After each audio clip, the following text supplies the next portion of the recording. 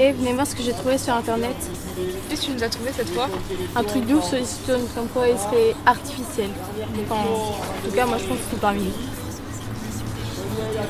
Ne vous êtes-vous jamais demandé comment les cyclones étaient conçus? Et si vous viviez entouré d'humains qui ne n'en sont pas vraiment?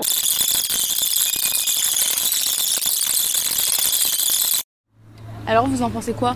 Moi, perso, je pense que c'est vrai. Vous allez quand même pas vous faire avoir, c'est une fake news, c'est évident.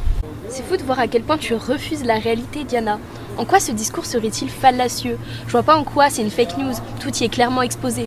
C'est toi qui aveugle et sourd, madame, je sais tout. Dans cette vidéo, le biais d'appel à l'autorité et à l'anxiété sont utilisés pour faire croire à ce complot. Franchement, rien que le nom de ces extraterrestres, les salamandriens, ça existe pas.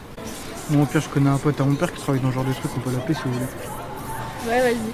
Non, Christophe, vous me connaissez Bien sûr, Omar. Je suis avec Madame Arono au laboratoire. On a une question à vous poser comment on voir une vidéo sur YouTube, c'est un truc de ouf.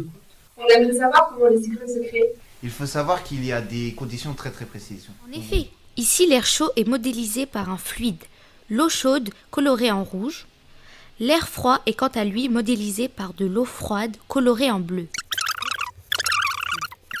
Ce phénomène forme ce que l'on appelle une Je suis convection. d'accord, mais qu'est-ce que ça change que la Terre tourne Beaucoup de choses. Je vous explique.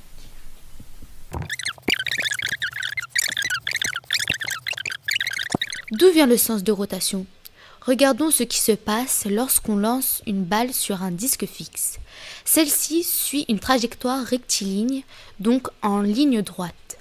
Par contre, si le disque tourne, alors la balle voit sa trajectoire modifiée avec un sens lié à celui de la rotation du disque. De même, notre Terre tourne sur elle-même et fait subir cette force d'entraînement aux masses d'air.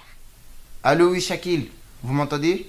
Vous allez bien là-bas? Oui, euh, je suis toujours entier, euh, mais euh, ici nous avons eu très peur euh, sur place. Oui, ma maison a subi d'importants dégâts. Elle tient encore en place. Cette expérience fut vraiment traumatisante. Ça a dû couper suite à des problèmes de transmission. Mais la question que tout le monde se pose, c'est est-ce qu'il y aura plus de cyclones à cause du réchauffement climatique et est-ce qu'ils seront encore plus forts Euh, ce sur quoi la communauté scientifique s'accorde, c'est que le nombre total de cyclones euh, ne devrait pas augmenter. On a même des raisons de penser qu'ils pourraient diminuer, mais que les cyclones intenses auraient une tendance à être plus nombreux. Euh, Existe-t-il un moyen de déclencher des cyclones de manière artificielle, par exemple avec des produits chimiques qui seraient versés dans l'atmosphère? Bon, je vais dire comme ça, la réponse c'est non. L'énergie mise en jeu dans un cyclone est vraiment phénoménale. On n'a pas les moyens techniques euh, de déclencher. Bon alors, t'es toujours aussi sûr de toi, hein?